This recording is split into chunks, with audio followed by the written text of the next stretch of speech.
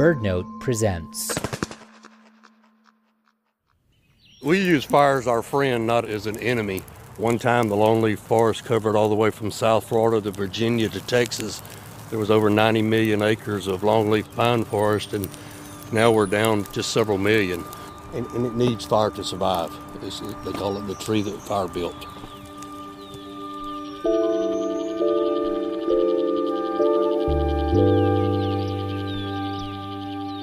I'm Ari Daniel, and this is Threatened. In this episode, we travel to Georgia's longleaf pine forests, home to many endangered species, including the red cockaded woodpecker. This resilient and unusual little bird is making a comeback from the brink of extinction thanks to an unexpected conservation partner and recovery efforts set in motion by the Endangered Species Act.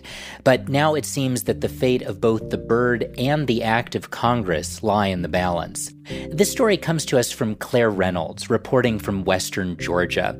Hey, Claire, it sounds like you've got a real conservation success story on your hands to share with us. Yeah, there's a lot to celebrate here, and it's complicated. Red cockaded woodpecker populations in many conservation areas have increased, and it's been a long, arduous task to get there. And the bird has been listed as endangered since 1969 when it was estimated that there were only about 10,000 birds left. It was actually listed as endangered four years before the passage of the Endangered Species Act in 1973. 1973. So that was Nixon? Nixon is actually credited with launching the Environmental Protection Agency, the Endangered Species Act, and other environmental programs that are still at work today. I had no idea that Nixon was such an avid environmentalist. Yeah, that surprised me too. And you know what's neat about this is that the Endangered Species Act was passed almost unanimously by Congress, which would be unthinkable these days. But you actually get a preview of what was to come from the Nixon administration in his 1970 State of the Union address. The great question of the 70s is shall we surrender to our surroundings? Or shall we make our peace with nature and begin to make reparations for the damage we have done to our air, to our land, and to our water? Well, not all presidents have wanted to make peace with nature. Presidents and Congress have slowly chipped away at the power of the Endangered Species Act over the years. And we're going to hear more about that in a bit. But first, how has the act benefited the red cockaded woodpecker? Well, are the Endangered Species Act not only protects the bird from being harmed or taken from the wild, but it also can protect its habitat. And in this case, that habitat is the dwindling longleaf pine forest in the southeastern United States. And this longleaf pine ecosystem is one of the most biodiverse ecosystems in North America. So protecting the bird meant protecting the longleaf pine trees too. And it wasn't really until the late 80s and the 90s that recovery efforts were developed and put into place. And Claire, you actually got to see these woodpeckers in the wild, right? Yeah, Ari, I did. And that would have been a really rare experience back in the 70s when there were only about 10,000 birds left. And it was really quite moving to see uh, an endangered species thriving in the wild. And uh, just a comfort to know that we can sometimes make amends for our mistakes. This is James Parker showing me around the red cockaded woodpecker habitat in West Georgia the red cockaded woodpeckers just lit in that tree right there. Hear them? There they come. See them flying there? Yes. Oh my gosh. Right there. Now they're in that tree. Oh, There's three of them.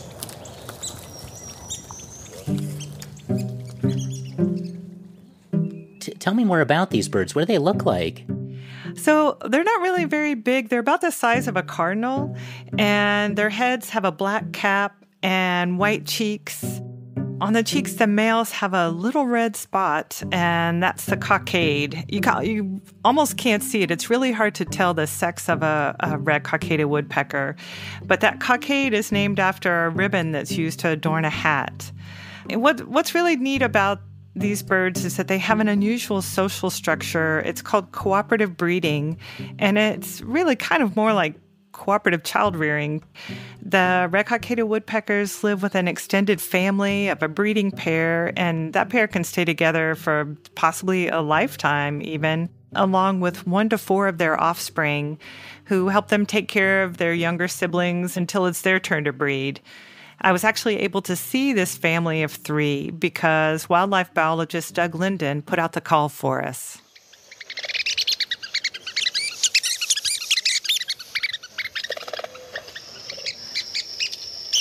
So, this is the sound coming from your little handheld speaker there. Just a recording of red cockaded woodpeckers.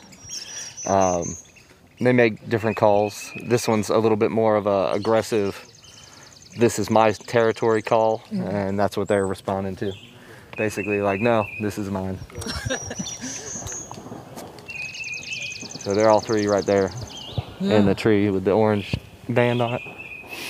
Conservation of the red cockaded woodpecker and the longleaf pine go hand in hand, at least for now. And the fate of these little birds lies in the hands of a group of people that you might not expect. Here I am with James Parker again. And what are we hearing in the background? It sounds like a artillery fire. That's a frequent noise out here, and that and loud booms from tanks and artillery. But that's the main reason we have what we have here. What the military does is basically made this whole installation like a sanctuary. When you look at what's surrounding it, second largest city in Georgia, Columbus, on two sides of the installation. And then you come out here and it's mainly a wooded forest. Despite all of the conservation work going on here, sanctuary is not exactly the first word that comes to mind. This endangered longleaf pine ecosystem is managed by a surprising landowner, the U.S. Department of Defense. And this sanctuary is located at the U.S. Army garrison at Fort Benning, Georgia. James Parker is the Natural Resources Branch Chief here. You know, that's my number one job is to train troops. Even though I'm a natural resource guy, I'm here to provide that training area and to provide and define that common ground so that we can conserve our species and ecosystems on Fort Benning, but also accomplish the military mission. Since the 1990s, serious conservation efforts on behalf of the red cockaded woodpecker have brought the bird back from the brink of extinction on military bases throughout the Southeast, including Fort Benning. Garrison Commander Colonel Matthew Scalia is James Parker's boss. And yes, former Supreme Court Justice Antonin Scalia was his dad. We are the most active Army installation, I would say not just in the U.S. Army, but I, I would offer in the world. Okay. I, well, I just yeah, challenge anybody to, to, to take me up on that. But uh, case in point, we fire more tank rounds here than on any other installation. We fire more small rounds here than any other installation. So the operations tempo here is very, very fast and heavy. There's multiple high risk training events that occur on Fort Benning daily. You know, it might be Ranger School, it might be jumping out of airplanes, it might be live fire maneuver training. So uh, there's never a dull moment on Fort Benning. Wait, Claire, how can a place that's firing more tank rounds than any Army installation anywhere be a good place for conserving woodpeckers? right. Well, the red cockaded woodpecker only nests in living pine trees that are at least 60 years old, but preferably 100 years old. And they prefer longleaf pines. Oh my goodness, these birds sound like a real estate agent's worst nightmare, like the pickiest of customers. Yes, they are so picky about uh, the trees they nest in. And most of the longleaf pine forests were cleared long ago for farming or they were harvested for their timber or turpentine. So the old growth and second growth longleaf pine trees are really rare, and most of them are found on military bases because they've been holding large swaths of forested land for a century or more, like Fort Benning, which was established in 1918. Wow, that is wild. There are actually red cockaded woodpecker conservation programs in place at 13 military bases in the southeast. It's a surprisingly destructive place for habitat restoration work, but there are human caused threats to this bird that only humans can correct. And this need for continued habitat management means that the bird is considered to be conservation reliant. And so they figured out how to bring this bird back by understanding the peculiarities of how and where the red cockaded woodpeckers build their nests. And someone who knows all about this is biologist Jeff Walters from Virginia Tech.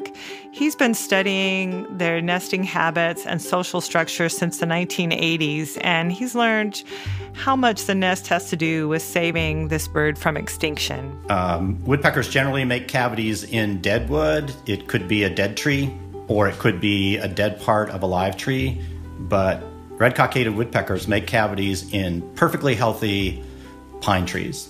So that is really, really unusual. It takes them a very long time to do so. It takes years, whereas most woodpeckers would make a cavity in, in days or, or weeks at most.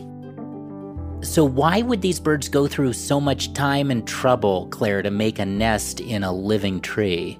Well, they have a lot of predators climbing up the tree after them, including rat snakes. So, for the birds, it's all about the sap, and that's the sap flowing from a living tree. What they do is they they've got their their hole that's their cavity, and then all around it, the red cockaded woodpeckers, pretty much every day, they chip into the sapwood just a little bit to make what are called resin wells, and the sap bleeds out of that. So you have a big layer of sap all around the cavity, and that stops the snakes from getting to the hole.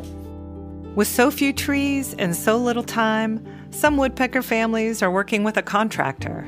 If it takes 15 years to get yourself six good cavities together, obviously that's not a good strategy. Even getting started with a few takes years. So they, they're looking for places that already have cavities. And what that means is that if you want to hold them in a place, you've got to replace cavities that are lost. And if you want them in new places, you have to put cavities there to draw them in. And now that's what people do. They manage cavities. So that's the other part of being conservation reliant until the forests get old enough that they have lots of old trees to pick from, and so can make their own cavities at a at a high rate.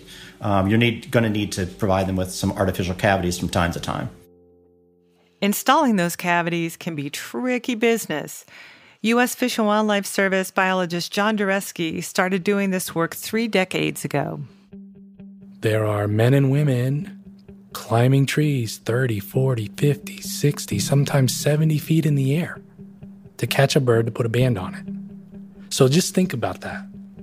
Seven ladders that you're going to schlep into the woods with all your other stuff chainsaws, buckets, boxes, nails, hammers. Unload all that stuff. Start stacking those ladders, one on top of the other. And you're having to hold some while you go up because you don't want to keep coming down to get them. You know, you get to some point in that tree and you're swaying with the tree. You're no longer you're no longer fixed like you are at the base of the tree. Now it's there's movement and you're cutting branches out of your way to get to where you're trying to get to. And then you let go. And you just have your belt around the tree holding you there and you have to let go. You need your hands. So you have to trust the belt.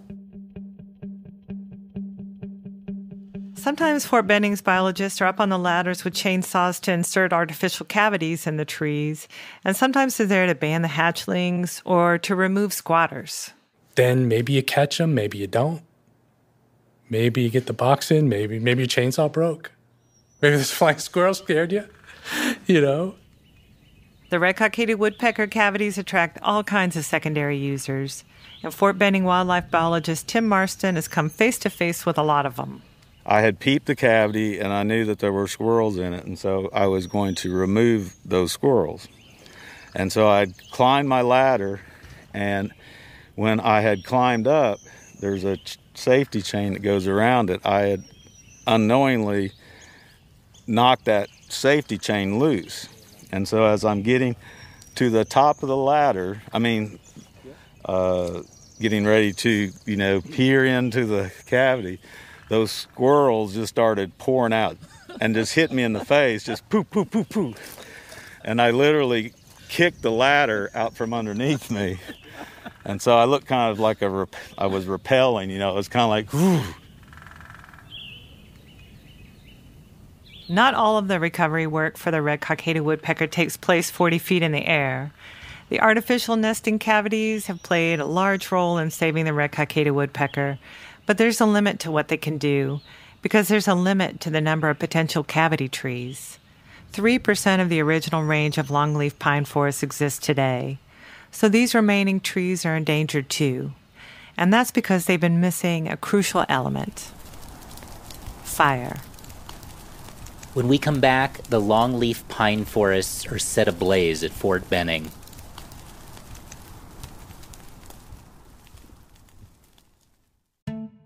If you're listening to this podcast, I'm willing to bet you care about birds and our shared environment. And you probably want to keep on top of threatened episodes, see beautiful photos, and learn more amazing things about birds. Well, you're in luck because BirdNote has a weekly newsletter that delivers fascinating bird content straight to your inbox every Friday. You can sign up today BirdNote's mission is to tell vivid, sound rich stories about birds and the challenges they face, inspire listeners to care about the natural world, and take steps to protect it. And who doesn't need a little more inspiration? Sign up for BirdNote's weekly newsletter by clicking the link in the show notes or visiting birdnote.org. Welcome back. Once on the brink of extinction, the endangered red cockaded woodpecker has recovered at a surprising location, the U.S. Army garrison at Fort Benning, Georgia. We'll hear how that recovery brings into question what it means for a species to be threatened. But first, we pick up the story in the longleaf pine forest at Fort Benning, where after a century of wildfire suppression across the U.S., this military base is using fire to restore the longleaf ecosystem to its natural state. Producer Claire Reynolds is hanging out by the fire with Fort Benning ops specialist Tommy Hutcherson. There's four woodpecker trees over here, and uh, the wind's out of the southwest, which is blowing right into our face. So we'll burn the closest one first, then the one to the left of it, and then the two that are side by side. You know, we're doing it for ecosystem management. We're required by law to protect these birds, and um, you know, the, there's many benefits to the fire. We're going to burn about 1,200 acres today. Oh my gosh, so this is just the beginning. Yeah, yeah, yes, yes, yes. There's actually three different burn units that are being burned. There's three different burn crews in here. You're just on uh, one small portion of the burn. So there's another reason to do prescribed burning at an Army installation and that's to keep unintentional fires from starting. Because the munitions used for weapons training on Fort Benning can start fires of their own. We use a lot of pyrotechnics, smoke grenades, flares, um, a lot of uh, tracers. Every third round that comes out of our guns are tracers, and they that's a ball of fire going down through there. So we manage our forest with fire to keep the fuel loads down. So when we do have a fire, it's not a catastrophic fire like they have out west. So by this point, it just seems like there's fire everywhere. The forest is obscured by smoke, and there are rings of fire around these longleaf pine trees that have the orange bands around them, denoting that they're cavity trees. And since the sap that's flowing down from those cavities is flammable, Tommy Hutcherson and Doug Linden are continually extinguishing these fires that they've just lit to keep the flames from rising up the sap and into the woodpecker cavity. It's a surprisingly peaceful scene. Our woodpecker population is thriving. You know, we went from 100 and something clusters in the early 90s to 400 plus now. You know, it's a, it's a remarkable story that that and a lot of it had to do with fire.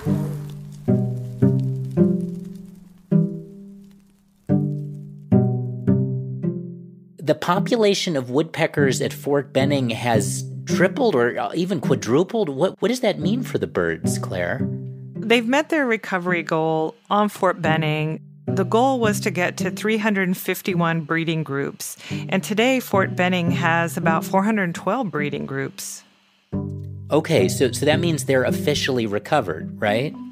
Yeah, at Fort Benning specifically, the species is officially recovered.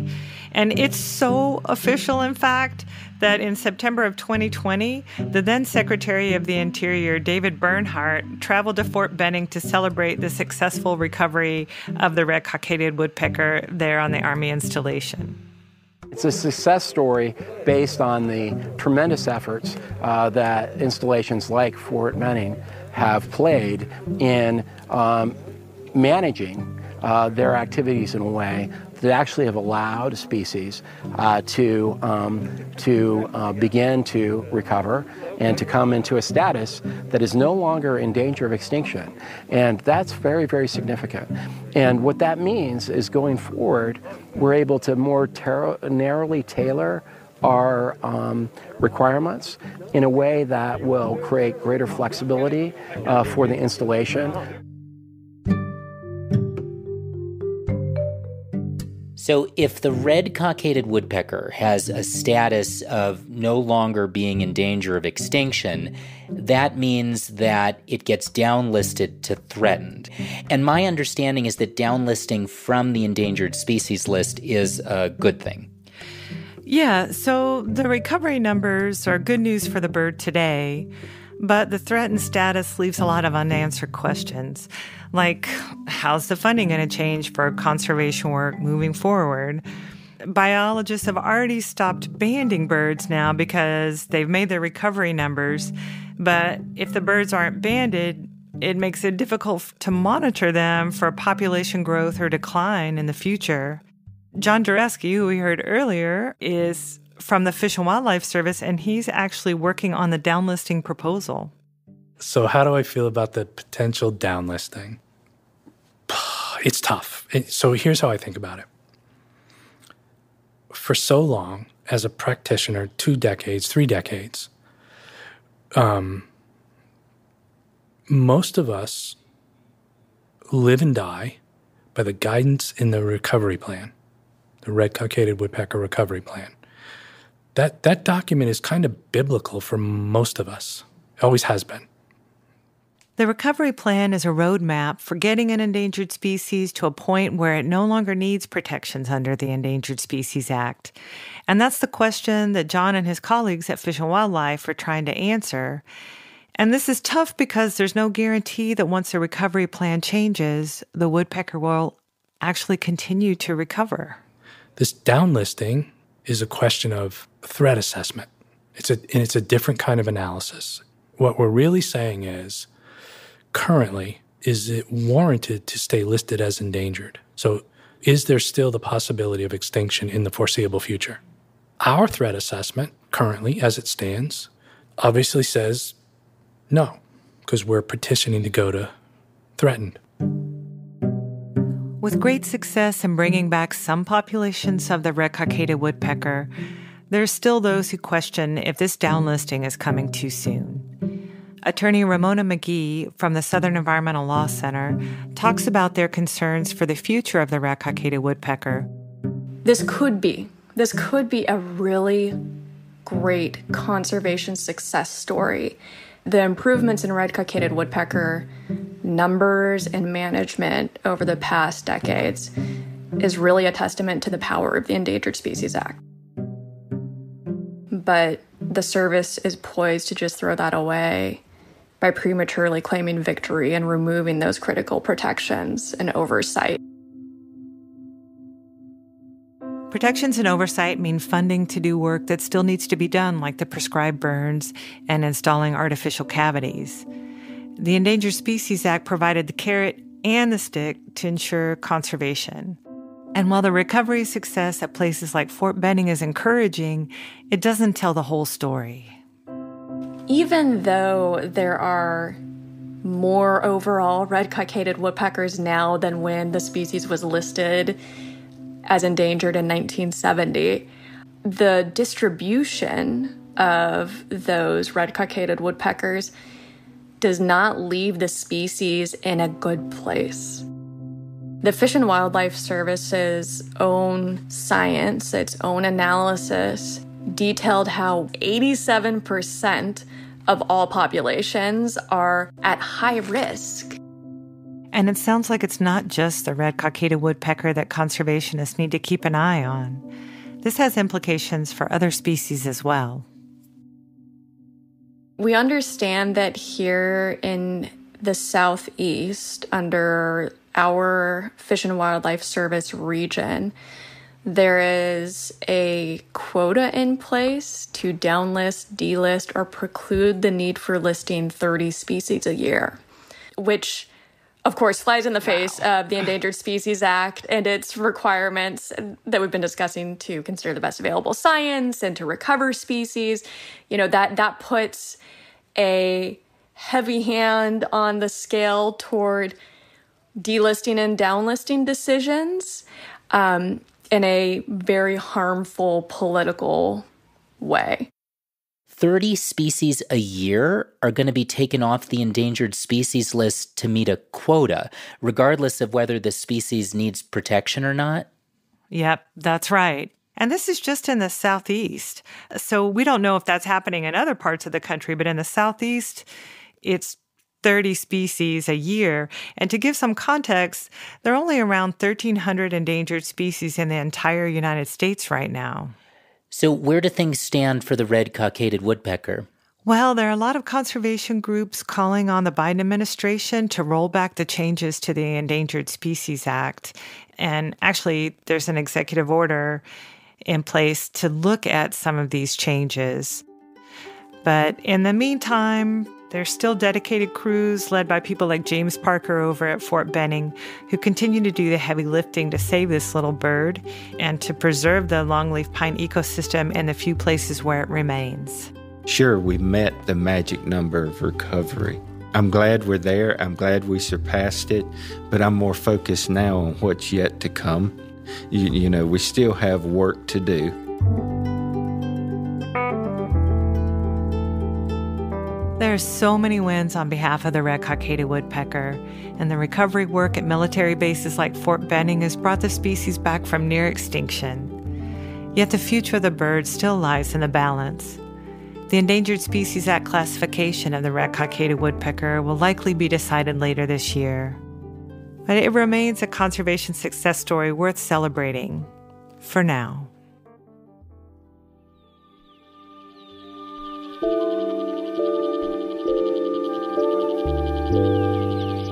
The red cockaded woodpecker's success is tied up with government intervention and all the rules, regulations, and politics that come along with that. In the next episode, we'll take a look at a migrating bird that's found a safe place on private land to return to every summer. But I think that that swallowtail kite, I think it probably been about five to six years ago. Uh, I noticed it when I, when they first come in. I was out cutting hay and I always was getting tiresome. And all of a sudden, some of those kites flew in. Oh, they was all they was just dive bombing the grasshoppers. This family isn't just creating a refuge for the swallow-tailed kites and other birds. They welcome bird watchers of all kinds to their property to observe and connect with nature. That's next week on Threatened. This episode was produced by Claire Reynolds and me, Ari Daniel, and edited by Caitlin Pierce of the Rough Cut Collective. Audio mixed by Rob Byers, Johnny Vince Evans, and Michael Raphael of Final Final V2. Our theme song and original music were composed by Ian Coss, with additional music by Blue Dot Sessions. Threatened is a production of BirdNote and overseen by content director Allison Wilson, with production assistance from Sam Johnson. You can find our show notes with additional resources, BirdNote's other podcasts, and much more at birdnote.org. Thanks for listening. I'll see you next time.